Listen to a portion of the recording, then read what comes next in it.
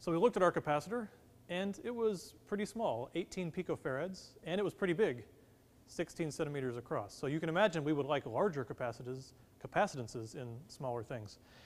So we're going to figure out one way to do that is to put an insulator in a capacitor. We haven't talked about insulators that much. We mostly talk about metals. So insulators are just these things that we could charge up by rubbing and use them to move charge around.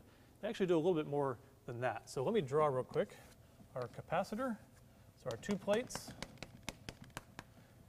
negative plate over here.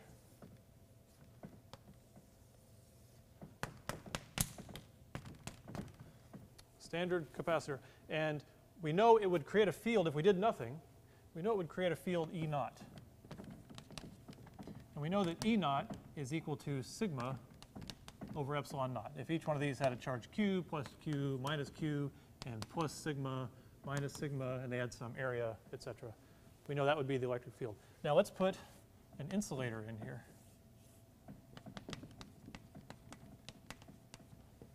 And see what's going to happen.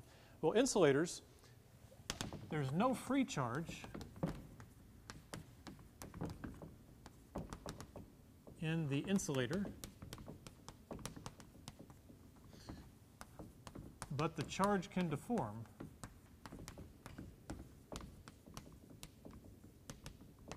So deform is a strange thing to say a charge can do. Let me show you what I mean. If you have an atom that's just a positive nucleus and it's surrounded by a negative electron cloud, let's pretend it's beautifully symmetric, nice and round, and you apply this E naught to it, right, E naught gets there, then what's going to happen is the if the nucleus sits here, the electrons are real light. They feel a force through the electric field. They want to go to the left. They can't completely come off because then well, they just can't do that, right? They're still attracted to each other, but this electric field is, is deforming them and putting the electrons more over here. So it creates uh, a dipole moment. It creates a little internal electric field, E induced, we'll call it. Okay. Each little atom in this ideal world here makes a teeny little E induced However, there's a bunch of atoms in the insulator, so they can make a response, E induced. Okay? So when you put those together, then the field in the gap is just superposition. You just add them up. So it's E naught minus E induced. Okay? So what you see is that the electric field is reduced inside the capacitor. When you put in a material it has this ability, so we just have air. Air is very sparse. Air doesn't really, air technically does this a little bit, but it's almost all vacuum.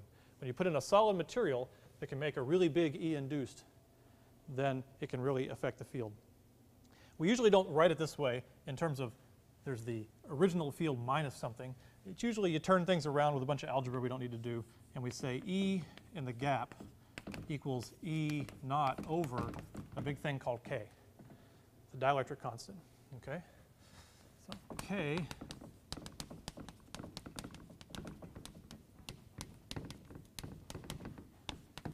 of the insulator. So you can see the dielectric constant reduces the electric field, and how big it is depends on how good the material is at doing this.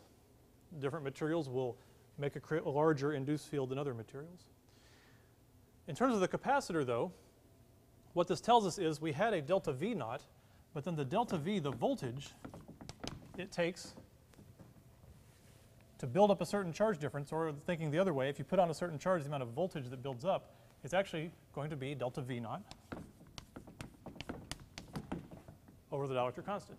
Because between, you know, because V equals ED, because the separation remains the same, so the electric field and the voltage are proportional to each other. So if the electric field drops by K, the delta V drops by K. So now we can start to think about how putting in the insulator affects the actual capacitor's behavior.